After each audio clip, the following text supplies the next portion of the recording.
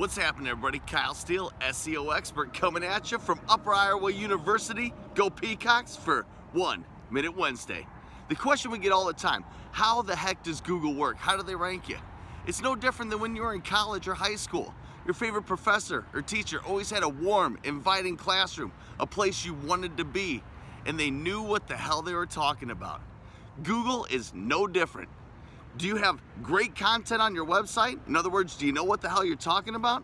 And is it a place that people actually want to be? Is it technically and aesthetically up to par? Is it mobile friendly?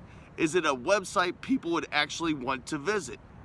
If you do those two things extremely well, you will always be where you want to be on Google.